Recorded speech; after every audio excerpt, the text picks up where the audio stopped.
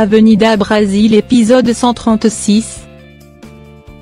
Typhon Après avoir su un texto venant du téléphone de Nina l'informant son arrestation il se rend au commissariat, Jorginho en le voyant décide de se cacher, le commissaire l'emmène voir Nina, cette dernière est très surprise de le voir, Typhon promet de la faire sortir de la cellule, Nina demande à Typhon comment il a appris cela. Typhon réplique qu'il a reçu un texto venant de son téléphone, Nina s'est rendu compte que son téléphone a été volé, Typhon demande quel est l'intérêt de cette personne à l'envoyer ce message, Nina prétend de rien savoir, elle explique la scène et dire qu'il y a quelqu'un derrière tout ça qu'elle est innocente, Typhon lui demande s'il connaît la personne qui a un motif de s'en vouloir, Nina ignore ce qui c'est, Typhon promet de lui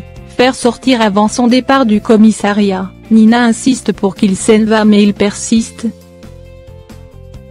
Carminia à la cabane reçoit l'appel d'Ivana l'informant la nouvelle d'arrestation de Nina elle fait semblant d'être surprise, par la suite elle raconte cela à Zeus d'un air très heureuse. Typhon discute avec le commissaire pendant ce temps Jorginho assiste discrètement la scène, Nina dans la cellule, s'inquiète pour que Jorginho ne croise pas Typhon, Nina se demande ce que Marx et Carminia préparent, elle leur raconte ensuite l'histoire de l'homme qui apporte la bière, Bégonia lui dit qu'elle a rien commandé, Nina s'est rendu compte c'est lui le voyou qu'ils ont envoyé pour la piéger, chez Typhon tout le monde apprend la cause d'arrestation de Nina est due à la trafic de drogue, Murici commence à dire des choses horribles sur Nina comme quoi elle avait toujours raison de pas croire en cette Nina, Marx quant à lui accuse Nina d'être le responsable de l'enlèvement de Carminia et le braquage au coffre de la maison, Carminia surgit, Murici l'explique tout. Cette dernière leur dit qu'elle veut pas entendre le nom de cette Nina qu'elle est venue voir Agatha.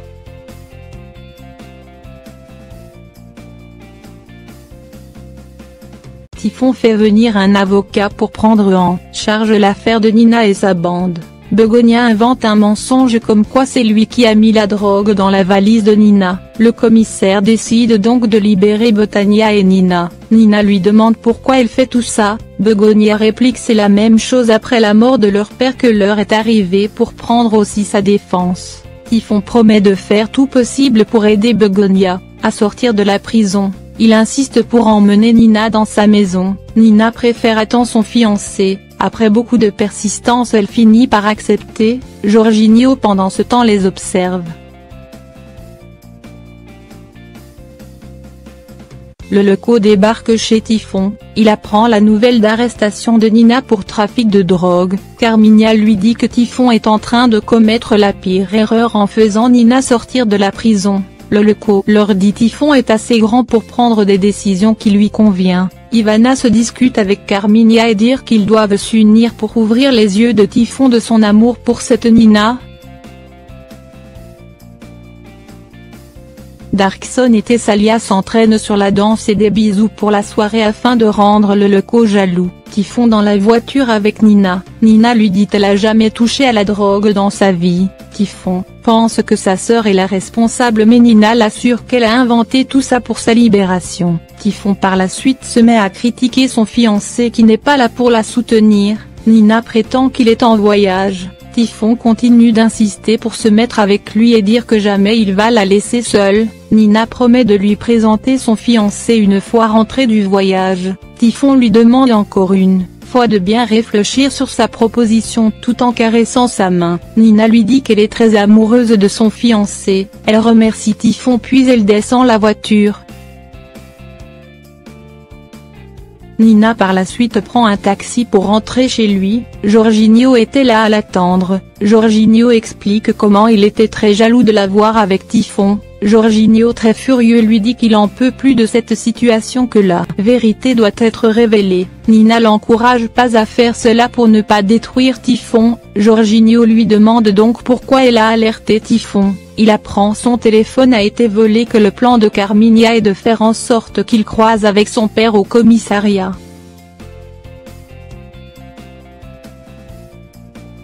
De son côté on voit Carminia qui discute avec Marx sur leur plan qui est de faire Typhon croiser avec Jorginho au commissariat, Typhon, surgit-il les explique tout en détail, Typhon leur dit c'est un piège cette affaire de drogue, Marx donne son avis que Nina est juste en train de l'utiliser, Typhon furieux lui demande de garder ses commentaires, Carminia par la suite fait l'éloge de Typhon sur sa sensibilité, elle prétend qu'il va le soutenir dans toutes ses décisions.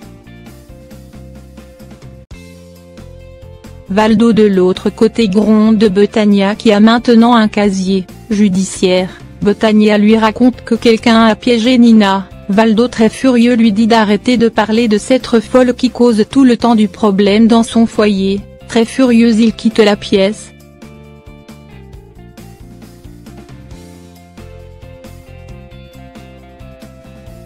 De l'autre côté Veronica insiste pour que Deborah épouse Jorginho afin d'obtenir une vie meilleure. Deborah lui dit qu'elle n'est pas une profiteuse que jamais elle va épouser un homme pour de l'argent. Veronica continue d'insister s'appuyant sur le fait que ce sera avantageux pour tout le monde.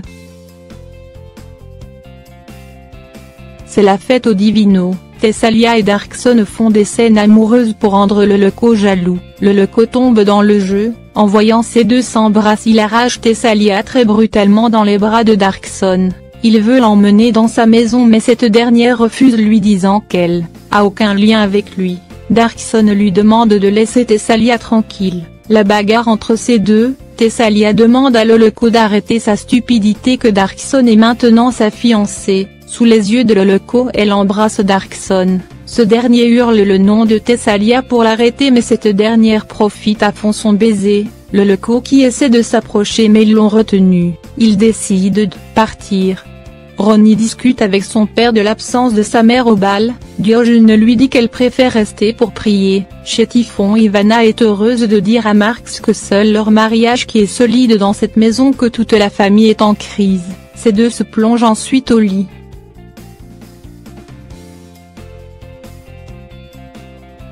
Botania se rend chez Jorginho pour tout les expliquer sur le comportement de Valdo envers lui, Jorginho se propose, pour aller discuter avec lui, ils discutent ensuite sur Carminia et Marx, Jorginho leur demande si les photos sont en lieu sûr, Valdo de son côté se met à penser de sa rencontre avec Carminia, il téléphone à cette dernière et lui propose un offre de ses photos avec Marx. Il réclame 20 000 rayos, Carminia accepte et l'avertit de finir mal si jamais il garde des autres copies.